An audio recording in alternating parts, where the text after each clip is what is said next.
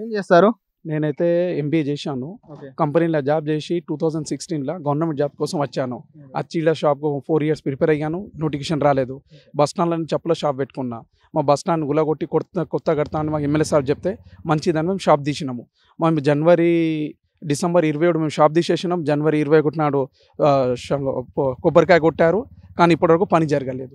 అది షటర్ కడతారా? ఇంకా ఏడు నెలలు పది నెలలు అయిపోయింది. ఇంకా సంవత్సరం అయితే తెలియదు మాకు ఇంకా. మా ఎమ్మెల్యే కాని పరిస్థితి అలా ఉంది. అదేంటి ఎంబీఏ చదువుకొని చెప్పుల షాప్ పెట్టుకోవడానికి కారణం ఏంది ఇక ఎన్ని నోటిఫికేషన్లు అన్నీ చేసాం తెలంగాణలో వచ్చిన తర్వాత ఎన్నడూ లేని విధంగా మేము ఉద్యోగాలు భర్తీ చేసామని నిన్న కూడా కేటీఆర్ చెప్పడం జరిగింది. సో ఎందుకని మీరు ఆ పరిస్థితి ఎందుకు ఆలోచిస్తున్నారు మీరు? ఫస్ట్ తెలంగాణ వచ్చింది నీళ్ళు నియామకాలు నిధులు. దీని మీదనే వచ్చింది ఇతను నియామకాలు అన్నారు నిరుద్యోగుల గురించి. రెండు వేల ఇరవై రెండు మార్చ్ తొమ్మిది నాడు కేసీఆర్ గారు అసెంబ్లీలో ప్రకటన చేశారు. ఎనభై వేలు తొంభై వేలు జాబ్ ఇస్తానని. కేసీఆర్ గారికి అడగండి ఇప్పుడు ఇప్పుడు ఇప్పటి వరకు ఎన్ని జాబులు ఫిలప్ చేశారు? ఒక తెలంగాణ చరిత్రలో రెండు సార్లు గ్రూప్ వన్ ఎగ్జామ్ రాసి పోస్ట్పోన్ చేసిన చరిత్ర హిస్టరీ క్రియేట్ చేయింది కేసీఆర్ గారికి. వేరే వాళ్ళకి కాదు. ఈయన చెప్పారు కానీ ఇప్పటి వరకు ఎగ్జామ్ కాలేదు. మొన్ననే ఒక అమ్మాయి ప్రవళిక అనే పేరు అమ్మాయి ఆత్మహత్య చేసుకుంటే ఈ చిన్న దూర కేటీఆర్ గారు చెప్తారు ఆమె గ్రూప్కే అప్లై చేయలేదంటారు. ఆల్రెడీ ఆమె group one group two group three group అన్ని అప్లై చేశారు. ఆమె అప్లై చేసింది కూడా చెప్పినా కూడా అది దూరకు అర్థమవుతలేదు వీళ్ళకి ఏం కావాలంటే కుటుంబ పాలన కావాలి. కానీ వేరే వాళ్ళకు ఉద్యోగాలు ఇవ్వరు. ఇలా ఇట్లా ఉన్నారు కేసీఆర్ పాలన ప్రభుత్వం పాలన. మరి రానున్న రోజుల్లో ఎలక్షన్ రాబోతుంది. ఆ, ఎవరికి ఎట్లా చూడబోతున్నారు ప్రభుత్వంకి ఎట్లా మరొకసారి ఇద్దామనుకుంటున్నారా? ప్రభుత్వం మార్పు కోరుకుంటున్నారా? ఏంది? టూ థౌజండ్ ఫోర్టీన్లో కేసీఆర్ గారు చెప్పారు మా మైనారిటీ గురించి ట్వెల్వ్ పర్సెంట్ రిజర్వేషన్ ఇస్తామన్నారు. ట్వెల్వ్ పర్సెంట్ రిజర్వేషన్ లేనే లేదు. రెండు వేల పదిహేడు ఏప్రిల్ పదహారు నాడు అసెంబ్లీలో బిల్ పాస్ చేసి దు చేతులు దులుపుకున్నారు. కానీ ఇప్పటి వరకు ట్వెల్వ్ పర్సెంట్ రిజర్వేషన్ గురించి ఏం మాట్లాడారు? ఒకటి. రెండోది ఏంటంటే మొ- ఇలా ఇలా నూట పంతొమ్మిది అసెంబ్లీ ఎమ్మెల్యే ఇచ్చారు. అందులో ఇద్దరు ముగ్గురికి ఇచ్చారు. దానికంటే ఎక్కువ మందికి ఇవ్వలేరు. మరి ఏమన్నాడు? ఇప్పుడు మొన్న మేనిఫెస్టోలో వచ్చింది. మేనిఫెస్టోలో మైనార్టీ గురించి ఏం లేదు. ఓన్లీ ఏమంటే రెండు వేల ఐదు స్కూల్ ఉన్నారు కదా దాన్ని జూనియర్ కాలేజ్ చేస్తాం మరి డిగ్రీ కాలేజ్ చేస్తా. వాళ్ళు ఇదే ఒకటే చెప్తున్నారు. మైనార్టీ కోసం స్కూల్ ఓపెన్ చేసిన స్కూల్ ఓపెన్ చేసినట్టు అంటారు అదే నేను సూటిగా ప్రశ్న అడుగుతున్నాను.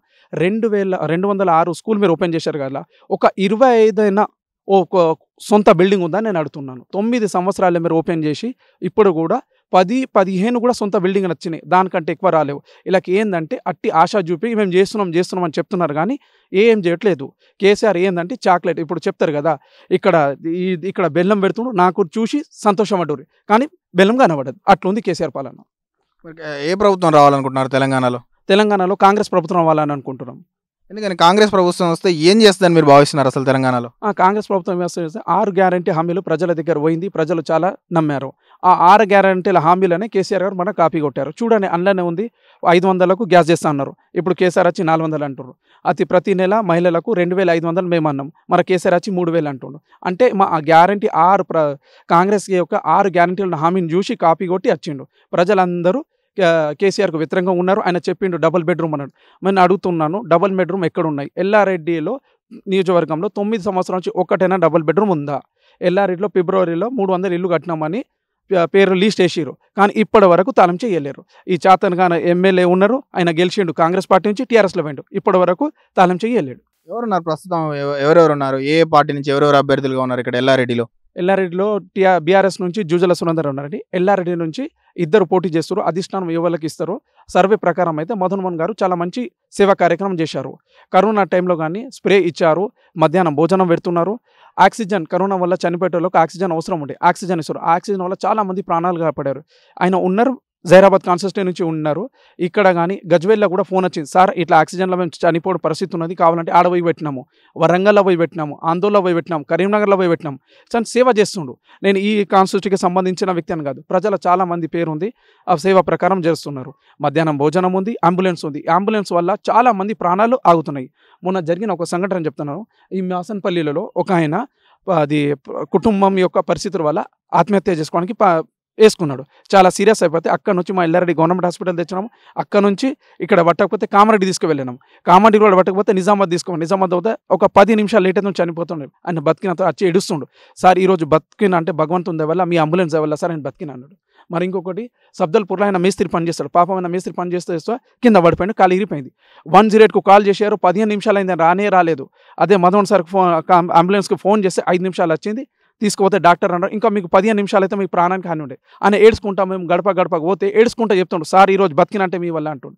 ఇట్లాంటి మంచి పని చేస్తుండు. ఇంకొకటి సంఘటన ఒక రెండు నెలల కింద జరిగింది. లక్ష్మణపూర్లో యాక్సిడెంట్ అయింది. యాక్సిడెంట్ అయింది ఫోన్ వన్ జీరో ఎయిట్కి ఫోన్ చేసి రాలేరు. అదే మా మదన్ సార్ ఫోన్ చేసి ఐదు నిమిషాలు వచ్చింది వేసుకొని పోతారు. ముంగటికి వెళ్ళి మా ఎమ్మెల్యే గారు వస్తారు అరే ఏమైంది? మన వన్ జీరో ఎయిట్కి విలువ లేరు. అంబులెన్స్కి ఎందుకు వీళ్ళు ఈయన మదన్కి సార్ మనం చేసినాం రాలేదు ఈయన వచ్చినట్టే. ఓలో మంచి పని చేస్తారు కదా చెయ్యని అన్నారు. ఆయన ఒప్పుకున్నాడు ఆయన మంచి పని. అదే ప్రజల్లో ఏముందంటే మదన్ మన మంచి పని చేస్తున్నాడు ఆయనకి ఇస్తే డెబ్బై ఐదు వేల మెజార్టీతో గెలుస్తాడు. ఎట్లా ఉంది మరి పరిపాలన? అప్పట్లో కాంగ్రెస్ బాగుందా? ఇప్పుడు టిఆర్ఎస్ బాగుందా? ఇది ఎంతసేపు చెప్పినా మందిని ముంచేదే కానీ కాంగ్రెస్లో చాలా అందరికీ మంచిగా ఉన్నది. ఒక్కళ్ళకన్నా ఒక బాత్రూమ్ కట్టింది లేదు. ఎందుకు. కేసీఆర్ డబుల్ బెడ్రూమ్ ఇల్లు కట్టినా దళిత పైసలు. ఇస్తున్నా అందరికి అన్ని ఇస్తున్నా అని చెప్తుండు. కేసీఆర్ బాగాలేదంటున్నావు యాడ బెడ్రూమ్లు కట్టిన అన్ని ఖాళీ ఉన్నాయి కానీ మాత్రం ఒక్కళ్ళకు గీళ్ళకి వచ్చిందనే జవాబే లేదు. అదే లేదు. అది ఎక్కడికి వెళ్ళి పది ఎకరాలు ఇరవై ఎకరాలు ఉన్న వాళ్ళకే లాభం ఉన్నది కానీ మన గరీబ్ గళ్ళకైతే ఏం లేదు. నాకు తెలిసి ఎట్టి పరిస్థితుల్లో లక్ష రూపాయలు కారు గుర్తు ఇచ్చిన కాంగ్రెస్కు ఓటేయాలి. ఎందుకు? కాంగ్రెస్కి వేయాలి ఎందుకు అంటున్నావు కాంగ్రెస్ ఏ మేము మా ఇంట్లో కా- కా- అంటున్నాము. కాంగ్రెస్ కాంగ్రెస్ ఏం చేసింది గతంలో? ఇప్పుడు ఏం చేద్దాం? ఏం చేస్తుంది అనుకుంటారు గెలిస్తే? కాంగ్రెస్లో సంవత్సరానికి ఒక పది ఇరవై ఇండ్లు అయినాయి. ఉమ్. ఇప్పుడు అసలుంటిది పదేండ్లు అవుతుంది పదేండ్ల కోలే కూడా ఒక ఇల్లు వనికన్నా బిల్లు లేసిందేమో అడుగు. ఉం. ఏమా ఏ మండలం కన్నా వనికన్నా ఇల్లుకు బిల్లు లేసిందేమో అడుగు. నేను లక్ష రూపాయలు రుణమాఫీ చేస్తున్నా అని చెప్పిండు రైతులకు. కాదు నాలుగు లక్షలు చేసినా వేస్టే. ఉన్నోడు ఎప్పటికి పదవులు ఉన్నోడు ప- పదేండ్ల కోలే ఉన్నోడు మర్రా ఇంకో పదవి చేసిండు అనుకో. మనలా అడు తొక్కేస్తాడు ఇక. మీది ఎక్కడ? ఇదే లో ఎల్లారెడ్డేనా?